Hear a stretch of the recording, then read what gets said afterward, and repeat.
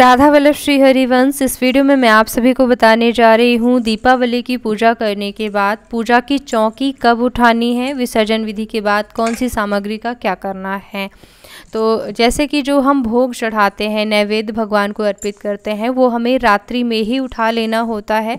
बस एक चौघरा में जो हम अर्पित करते हैं, जैसे कई क्षेत्रों में चार खानों का मिट्टी का पात्र मिलता है, उसमें जो हम भोग विशेष रूप से माता लक्ष्मी को अर्पित करते हैं, वो आप एक किनारे रखे रह सकते हैं, पूरी रात्रि रखा रहता है। कई क्षेत्रों में ऐसा नियम है और कई लोग जो है उठा भी लेते हैं, उठा भी सकते हैं, कोई दिक्कत नहीं है। जो बाकी बहुत सारे फल आप चढ़ाते हैं, नारियल या मिठाई, वो सारी उठा लेनी है। जो आप अनाज अगर चढ़ाते हैं सप्त धान्य तो वो रखे रहने देंगे, उसे नहीं उठाना है। बाकी पूरी पूजा की सामग्री कोई भी नहीं हिलानी है। पूरी पूजा की चौकी जो है, हमें वो सुबह ही उठानी होती है। सुबह उठाने का खास नियम है, स्नान ध्यान से निवृत्त होने के बाद जब आप पूजा के आसन में बैठेंगे, सबसे पहले आचमन कर लेना, यानी शुद्धिकरण करके ही पूजा की चौकी स्पर्श करिएगा, ध्यान रखना है, ठीक है ना? फिर क्या करना है कि आपको पूजा कर लेनी है, पाँच उपचार से, जैसे कि आप रोज़ की पूजा करते हैं। यानी कि आप चंदन, रोली, अक्षत इत्यादि अर्पित करिए, ठीक है? माता को सिंदूर लगाइए, फूल चढ़ाइए धूप बत्ती यानी धूप दिखाइए और दीप प्रज्वलित करके दीप करिए। और कुछ भोग लगा दीजिए, चाहे आप कुछ बना करके भोग लगा दीजिए या फिर जो भी आप रोज़ भोग लगाते हो फल फूल कुछ मिठाई रखा हो, वो आप भोग लगा दीजिए, जल फेर दीजिए भोग में।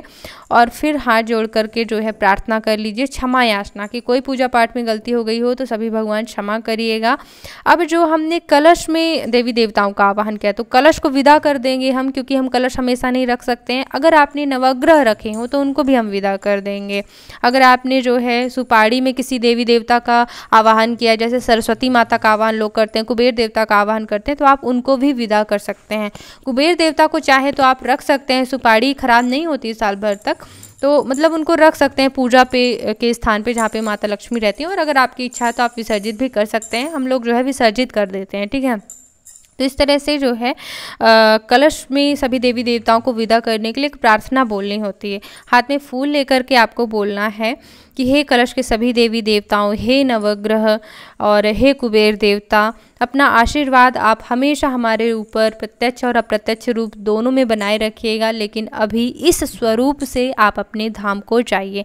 ऐसा कहते हुए सभी का आसन अलग अलग से पीछे खिसका देना। सभी नवग्रहों को पीछे खिसकाइएगा। जब कलश आप पीछे खिसकाएँगे तो अष्टदल कमल बिगड़ जाता है तो बिगड़ जाने दीजिए, ठीक है ना?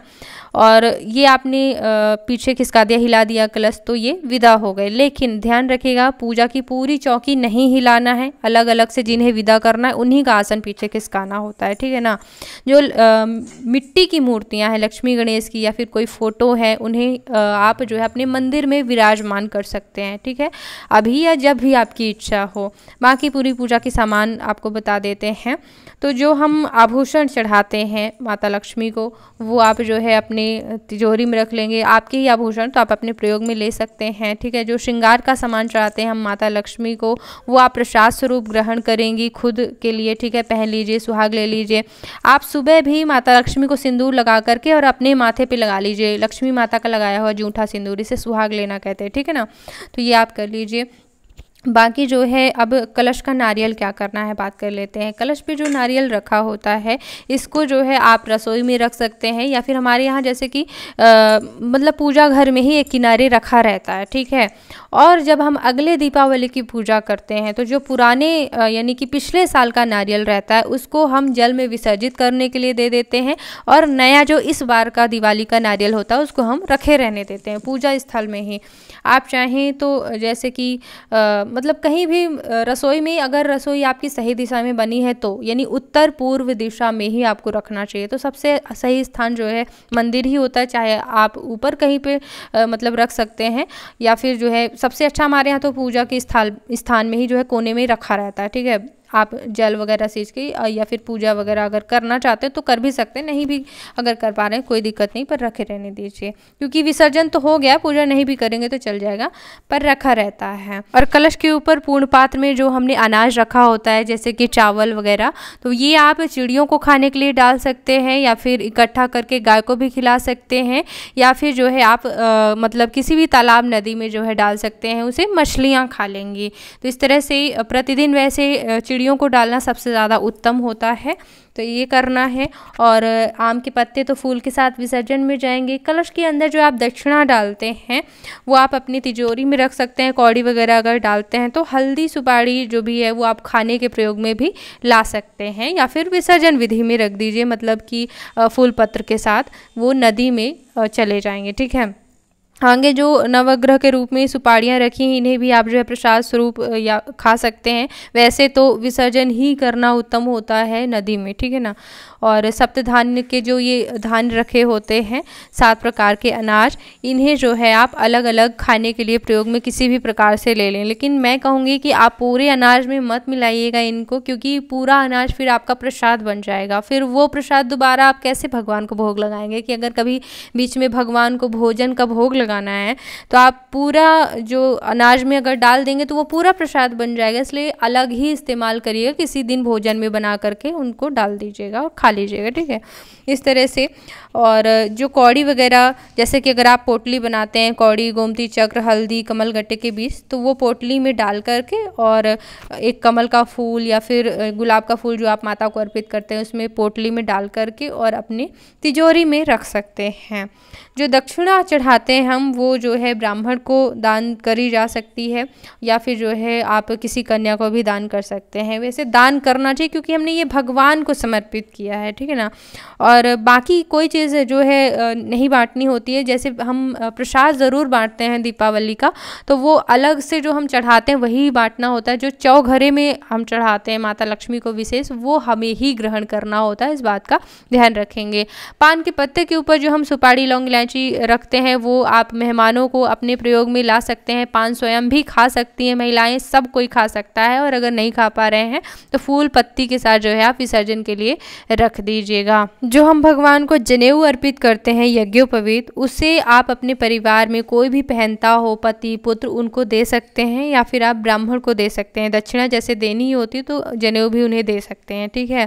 साथ ही साथ मौली धागा आप अपने बच्चों के हाथ में रक्षा सूत्र की भावना से बाँध सकते हैं। और पूजा की चौकी में जो हम वस्त्र बिछाते हैं लाल तो उसे आप घर के मंदिर में ही पूजा में किसी भी प्रकार से प्रयोग में ला सकते हैं। या फिर ज़्यादातर हमारे घरों में क्या होता है कि हम ऐसा ही वस्त्र जो है भगवान को आसन देने के लिए प्रयोग करते हैं, जो कि नया हो और उसे हम ब्लाउज बनवाने के लिए यूज़ में ले आएँ। तो अगर वो पतला है तो अस्तर के रूप में यूज़ हो जाता है और अगर अच्छा चमकीला है तो ब्लाउज़ के रूप में यूज़ हो जाता है। तो प्रसाद स्वरूप जो है, घर के काम में आ जाता है पहली बात और ज़्यादातर तो पूजा में ही प्रयोग में लाना है। और अगर घर में पंडित जी पूजा कराने आते हैं तो उसको, उस वस्त्र को भी समेट करके पंडित जी को ही दे दिया जाता है। ठीक है, कई ऐसे व्रत त्यौहार होते हैं, जिसमें ज़्यादातर दान के लिए ही कहा जाता है। तो जिसको भी श्रृंगार की सामग्री दान की जाती है, उसको रख करके दे दिया जाता है। तो इस तरह से आपको पूरी पूजा की सामग्री का विसर्जन करना है फूल पत्र उठा करके, या तो नदी में विसर्जित करिए, या फिर गड्ढा खोद करके जो है, घर में ही गाड़ दीजिए। पुराने जो मिट्टी के लक्ष्मी गणेश हो, उनको भी जो है, घर के ही गमले में विसर्जन कर देना चाहिए, या फिर जो है, इसी तरह पहले विसर्जन करना है, जैसे कि मैंने कलश और नवग्रहों के लिए बताया कि आप इस स्वरूप से अपने धाम को जाइए लेकिन आशीर्वाद बनाए रखिएगा। ऐसा कह के लक्ष्मी गणेश को पुराने जो आपने पिछले साल के रखे, उनको विदा करके बढ़िया से और फिर जो है आपको गमले में विसर्जित या फिर नदी में विसर्जित करना चाहिए। और ये जो कैलेंडर वगैरह अगर फट गए हों तो इन्हें भी आप नदी में विसर्जित कर सकते हैं। ध्यान रखिएगा, कोई भी ऐसी चीज़ है, लक्ष्मी गणेश की मूर्ति किसी भी पेड़ के नीचे डाल के नहीं आना या फिर सूखी नदी जहाँ पानी ही ना हो, कि किसी के पैर में पड़े, कुत्ते यहाँ वहाँ ले जाके रोड में डाल रहे हैं, ऐसे हो जाने से जो है आपके पुण्य समाप्त तो होते हैं, ठीक है? तो अच्छे से विसर्जन विधि करिएगा, कोई भी प्रसाद, कोई भी कर्ण पैरों के नीचे नहीं आना चाहिए। इसी तरह से व्रत त्यौहार की पूजा विधि और रिश्तों में सामंजस्य, पूजा पाठ, धर्म, भक्ति, नाम जब के वीडियो देती रहती हूँ। जिन्हें देखने के लिए आप एक बार चैनल पर ज़रूर आइएगा।